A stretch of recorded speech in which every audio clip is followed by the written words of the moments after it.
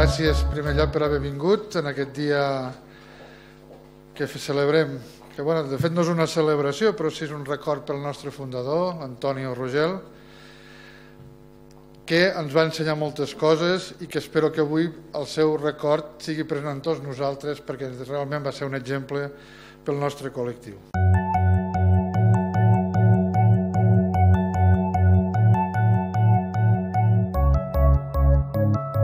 Hi ha moltes més pimes, moltes més petites i mitjanes empreses gestionant això que en diem la responsabilitat social que una gran empresa. No és cap crítica a la gran empresa, eh? estic senzillament dient que hi ha més pimes. A la línia aquesta d'incorporar aquest respecte a la societat, algunes empreses van anar desenvolupant valors també respecte cap a col·lectius amb dificultats. Adaptar-se forma part d'una manera de ser, d'una manera de tu com a empresa, com estàs a la societat. Tenir aquesta voluntat, aquesta voluntat d'adaptar-se, de ser millor cada dia, d'entendre què et demana la societat, també és ajudar a fer una empresa millor. Però alhora, això s'ha de gestionar.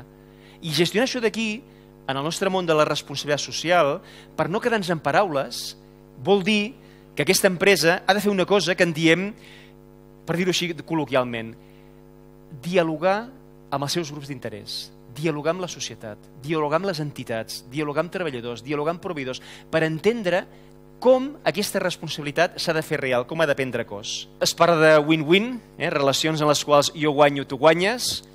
Jo crec que us proposo que parlem de relacions de triple win, relacions de triple guany, relacions en la qual jo hi guanyo, tu hi guanyes, l'entorn també hi guanya, el context també hi guanya.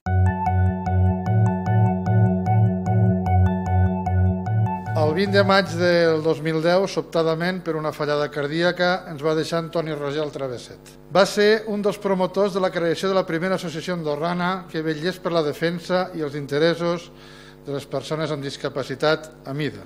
L'any 2011 la FAT va crear els Premis Antoni Rogel que volen significar alhora un record a la persona solidària, sensible i lluitadora en l'àmbit de les desigualtats, un reconeixement a la seva tasca i una expressió a la gratitud del col·lectiu que representem.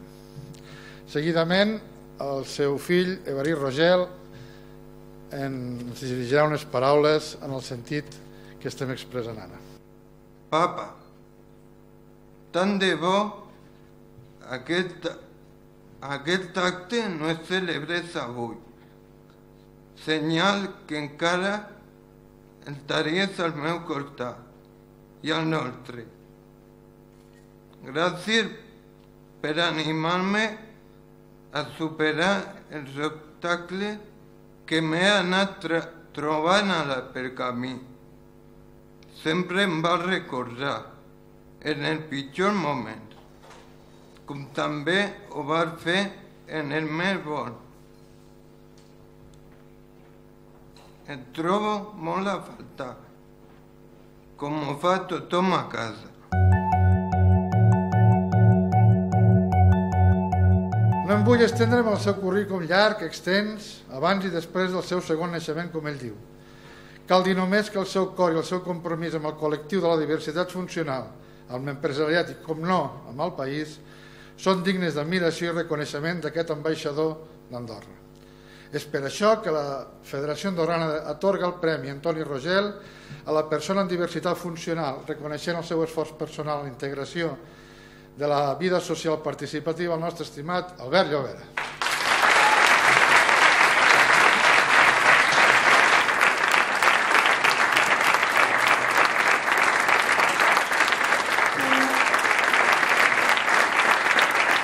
Ànima de la FAT des del 2009, sovint incomprès però estimat per tota la diversitat funcional.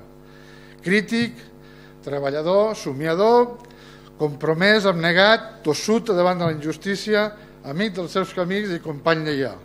Segur que en podem dir més coses. La federació vol reconèixer al seu gerent la tasca en pro i en defensa de les persones amb diversitat funcional. Parlo de l'honor del meu company, Joaquim Joan.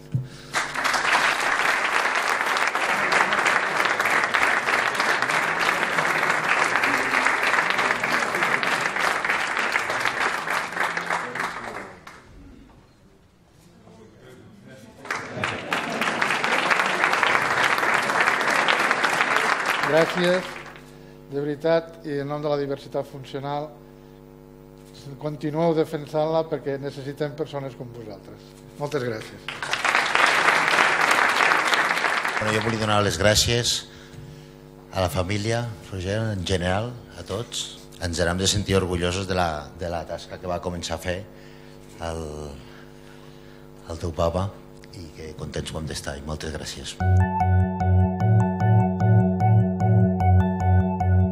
La dignitat de la persona, i això m'ho hauran sentit dir molts de vostès també des de que sóc el president de la federació, per mi està per sobre de tot. I aleshores la dignitat comença pel treball. Hi ha moltes persones amb diversitat funcional que poden treballar. I crec que nosaltres, i les persones que ens hem dedicat al món empresarial, estem obligats a això. Andorra, per les seves circumstàncies, per ser un país petit, doncs ens costa poder entendre el sistema ben bé que en Josep Maria doncs, ens estava explicant poder amb el dia a dia. Però és una qüestió de voluntat. Simplement és una qüestió d'una alçada de mires, de veure les coses des d'una altra perspectiva, de que les empreses, pel meu entendre, econòmiques han tingut un temps i ara venen les empreses socials. En nom de la Cambra de Comerç estem superil·lusionats en poder contribuir en aquesta, en aquesta tasca que realment és de tots i per tant us encoratjo a que siguiu així. Contractar a gent que tenen una discapacitat no ha de ser, com deia abans, un tema d'aparcar-lo i, i dir, bueno, gaudirem d'una sèrie d'avantatges fiscals, etc que ens puguin aportar i ja hauré complert amb la feina. No, està, està contratant a una persona que segurament el que li aportarà és rentabilitat li ha de portar rentabilitat a l'empresa, ha de confiar que aquella persona li farà la feina igual de bé o millor que qualsevol de les altres persones que, que pugui contratar de, de nivell normal. Des del Ministeri de Salut, Afers Socials i Ocupació pretenem difondre el mateix missatge pel que tant va lluitar el senyor Rogel, l'Antonio Rogel, el teu pare. Les persones amb discapacitat tenen dret a participar plenament de la societat, això ell sempre ho deia. Només dir que continuarem treballant per millorar tots els aspectes que afecten les persones amb diversitat funcional i els seus familiars, responent als principis d'igualtat d'oportunitat i al respecte, a la valoració de la diferència, a la normalització, a l'atenció integral, a la corresponsabilitat, a la diversificació i a la transversalitat entre moltes altres actuacions com preveu la nostra llei i la futura que farem.